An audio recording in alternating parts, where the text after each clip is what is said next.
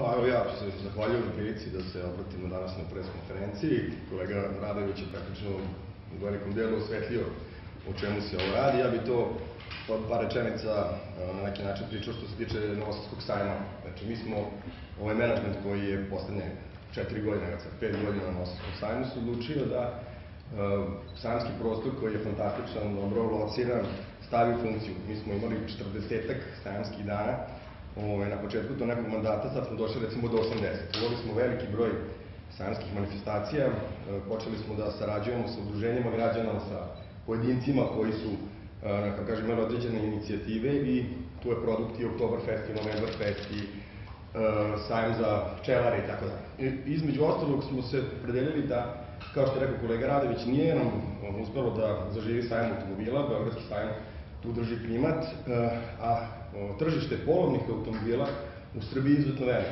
Oko 125.000 automobila, tamo će Marko Topor vratno reći više, se prodao kao polovnih, a recimo oko samo 20 do 25.000 novih. Procenili smo da to može da bude sadržaj, da bude atraktivno, da Nosadski sajam svoju jesenju sezonu ove godine ranije otvorili, smo je otvarali sa Loristom, ove godine jesenja sezona počinje sa berzom ovaj, polovnih automobila.